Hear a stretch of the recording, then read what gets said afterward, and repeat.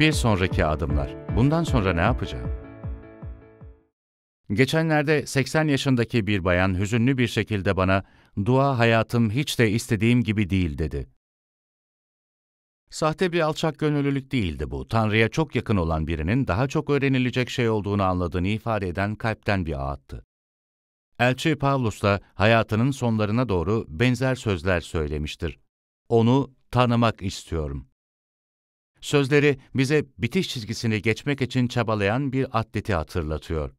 Geride kalan her şeyi unutup, ileride olanlara uzanarak Tanrı'nın Mesih İsa aracılığıyla yaptığı göksel çağrıda öngörülen ödülü kazanmak için hedefe doğru koşuyorum.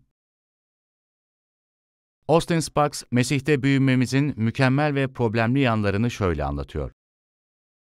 Kutsal ruhun görevi, bizi görebildiğimizin çok daha ötesinde olan bir okyanusun sahiline ulaştırmak ve İsa'nın derinliğini hissetmemizi sağlamaktır.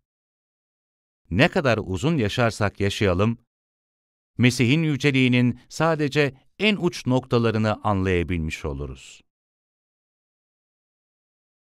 Çalışmamızın son günü yarın. Sizleri tebrik ederim. 30 gün boyunca pes etmediğiniz için.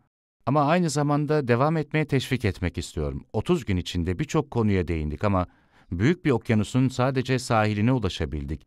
Öğrenecek daha çok şey var. İsa'yı tanımak hayat boyu süren bir uğraştır.